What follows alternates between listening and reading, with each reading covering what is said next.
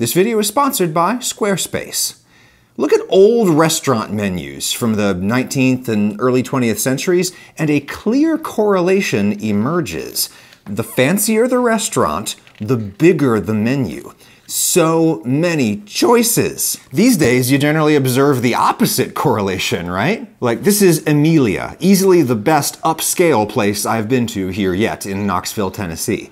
The wine list makes the menu look big, but there's the food. It's just half a dozen pastas, three meats, one fish. That's it. To a discerning contemporary diner, such as myself, a short menu is generally a good sign, right? A short menu means the people running this place know who they are, they know what they do well, they're not trying to be everything to everyone, which is, of course, impossible. In contrast, when I see a place with a huge menu, I am suspicious. How could they possibly be really good at all these different things? How fresh could any of this really be? The only way to have this many options under one roof is to keep a lot of them in the freezer. So, what changed? How did having a giant menu go from being a high class status symbol to being the opposite of that? Well, I'm going to give you a couple of explanations, but first, let me show you some crazy old menus. I have been obsessed with this book that Lauren found for me Menu Design in America from 1850 to 1985. Bill of Fare for number one Spring Lane in Boston. Check this run on sentence for neatness of arrangement in every particular, and the discipline of the waiters, together with the culinary department, where the utmost care and skill is requisite for the preparation of food, we can defy competition in this city or elsewhere. Period. Finally. Please honor us with a visit and satisfy yourself with the truth of this assertion. Sorry, that's not really relevant to the discussion at hand. I just think it's awesome. Anyway, look at the menu 11 soups, 13 roasts. You want the green goose or the mongrel goose? Nine boiled meats, including calf's head, six different savory pies, 11 different entrees like crackers and milk. Mmm. If you're in the United States like I am, you might be super confused right now because here we use the word entree to mean the main dish. But that's technically wrong. In French, entree just means entrance. And so the French use the word to describe like appetizers, things you have before the main dish. And back in the 19th century, we Americans still used that word correctly. So the crackers and milk is not a main dish, thank God. 21 different chops and steaks cooked to order, 20 different fish, 12 vegetables, including pickled limes, and look at all the desserts. These days, the dessert is the shortest part of the menu, right? But back then, it was the longest. Hey, you want a bird's nest pudding or a brown dumpling? I'll give you a brown dumpling. Now, look, you could argue that these old menus aren't quite as big as they look because everything is listed and served a la carte. You're not ordering a meat dish that also comes with a veg. You're ordering the meat and the veg separately, and so everything is listed separately, and that inflates the size of the menu. Sure. Nowadays, you probably wouldn't see every cheese they have listed individually for sale. There would just be one menu item cheese plate. A la carte ordering was the fashion a century ago, but that's part of the broader phenomenon that explains why fancy restaurant menus were huge back then. Back then, the luxury that rich people were paying for was choice. The luxury to waltz into a place and order anything you want. These are menus written for a much smaller world where people had way fewer choices. If you're like me and you live in an urban area in a highly developed country, you can get pretty much any food anytime. It might not necessarily be the best of whatever it is, but you can get it. This is a very new situation made possible by globalization and related advances in food storage technology. 19th century restaurants had no mechanical refrigeration, no vacuum packing, no giant container ships bringing them pallets of stuff from the other side of the world. They had what they could get from nearby farmers. And indeed, if you look at old menus from inexpensive, mom and pop type places for normal people, those are very small. The big menus were at the kind of places where those dudes would eat. Oh, hey, that's Mark Twain. An exclusive luxury for the elite is something that is both desirable and rare. Choice used to be rare. Now, choice is common. The choices that you would get at like even a cheap grocery store nowadays, those choices would completely blow the minds of the fancy guys in white tie you see in this book. Choice is no longer rare, therefore it is no longer exclusive, therefore it is no longer a high status symbol. Back then, it was. And there's another reason big menus were a status symbol, something having more to do with the customer than with the restaurant itself. This is explained by Indiana University historian Dr. Rebecca Spang in her book The Invention of the Restaurant, linked in the description. I think the um, marker of sophistication in taste has shifted enormously over the course of the past hundred years. You could really say just over the course of the past 40 years.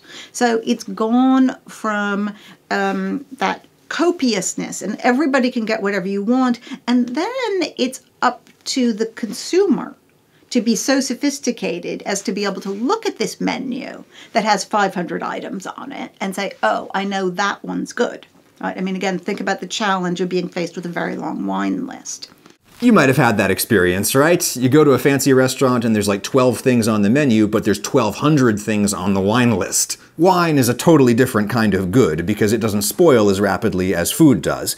And so a fancy restaurant today will still put a flex on you by keeping hundreds of different bottles in its cellar. And then you get to flex on your dinner buddies by saying to the waiter, oh yes, okay, I believe we shall have the uh, Frenchy French French French French and the 97 vintage, not the 98, anything but the 98.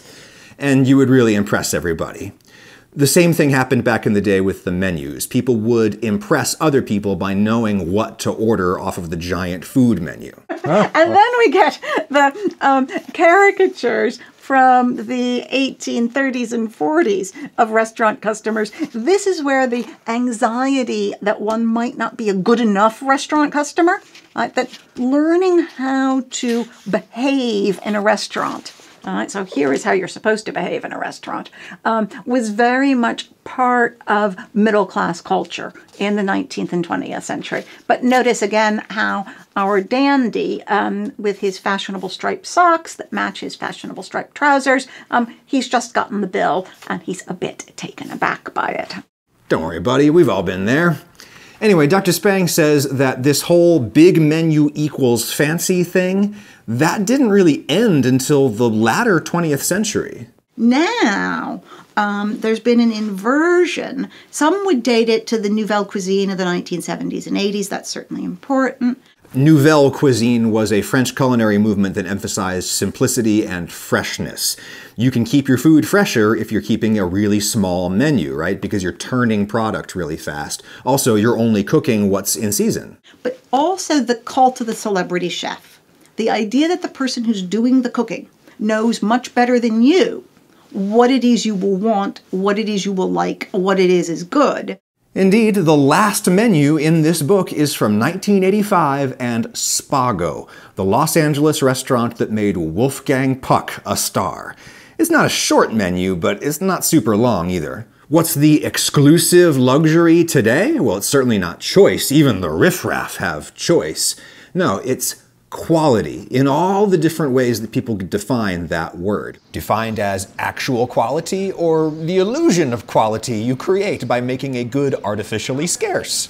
Maybe quality is the particular vision of a particular chef, something that can only be had at this one place. And it doesn't have to be super expensive. Like, this is a food stall here in Knoxville that does a mashup of Korean and Southern American food. They cook like five things, they do them all extremely well, and there's nothing quite like that bat bowl anywhere else. That's the kind of place I want to eat. But big menus do persist in the contemporary world, and that brings us back to the Cheesecake Factory, the American restaurant chain with the longest and most diverse menu known to science. That's not wine list, that's food. Sliders, pot stickers, egg rolls, tacos, shepherd's pie, a burger with mac and cheese on it, 20 different pastas, salads with influences from all over the world before you even get to the cheesecake section. Now, look, if you're waiting for Adam to do a brutal takedown of the Cheesecake Factory, keep waiting. I don't do that. Why? Because I remember this 2013 local news story from WMGT in Macon, Georgia, linked in the description. 61 year old Deborah Monroe was dying of COPD and she had one wish to eat at Olive Garden, another casual chain here in the States. The hospice and a nonprofit called the Dream Foundation sent Deborah to the Macon Olive Garden in a limo, and as long as I live, I will try to not mock the things that people sincerely enjoy. And hey, we ate at Cheesecake Factory the other day, and everything we got was good. But there was nothing particular to the vision of each dish. How could there be? There's a thousand dishes on that menu. That's not why you go to the Cheesecake Factory. You go there because nearly every kind of food imaginable is on the menu, and so everybody can get what they want, even the people at your table with not the most adventurous taste. And such people also deserve to get something they like, don't you think? But that very appeal to a mass audience is the polar opposite of exclusivity. And I'm not here to say whether that's a good or a bad thing. I'm just here to explain why the most exclusive restaurants in the world used to have giant menus and now they have tiny menus. Hey, let's say your restaurant needs a menu, an online menu. You can make one in like 10 minutes with Squarespace, the sponsor of this video. A million other restaurants have. You just grab a website template and you start customizing it with your own content. You can change the whole look and feel of the site with a few clicks, and then it looks like yours, not somebody else's. Whether you're starting a restaurant or starting a store or just starting a career, there's a template at squarespace.com made for what you are doing. Like a simple resume site like this. You can start playing around with one of these for free whenever you want. You only have to pay to do something like registering a domain name. AdamRagusea.com, for example. That's a Squarespace site. And you'd have to pay to publish your site, because then Squarespace hosts it for you on their servers. You can save 10% on your site by using my code Ragusea at checkout. Put yourself on the menu that is the internet. And put this old book on your list if you're interested in both food and graphic design. I think we're gonna have to do a whole video that's just a random list of crazy things I found in here, like that. Like, what's up with that?